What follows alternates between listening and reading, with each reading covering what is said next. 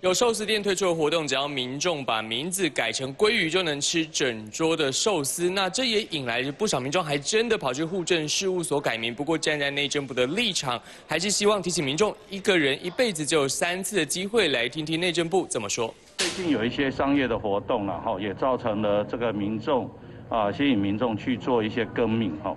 那我们还是要再次的呼吁了哈，虽然现在法令。啊，给予民众有一次一辈子有三次的改名的机会哈。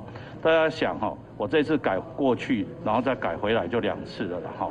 那啊，还是要尊重啊整个行政资源哈，因为这样的改名不只是啊耗费时程，也造成了这个不必要的一个行政作业哈。那我还是希望这个商业的活动呢，就让它单纯化。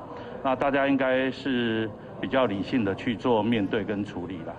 其实内政部就提醒了，你把名字改成鲑鱼，事后要再改回来，其实这样一来一回算是两次的一个机会，但是一人只有三次的一个改名的上限。所以要是其实你之前如果改过名字的话，一来一回这样子改名，很容易就把三次机会给全部用掉了。也提醒民众，就是说要这样做这样的一个改名的行为之前呢，最好好来还是衡量一下后果，比较保险。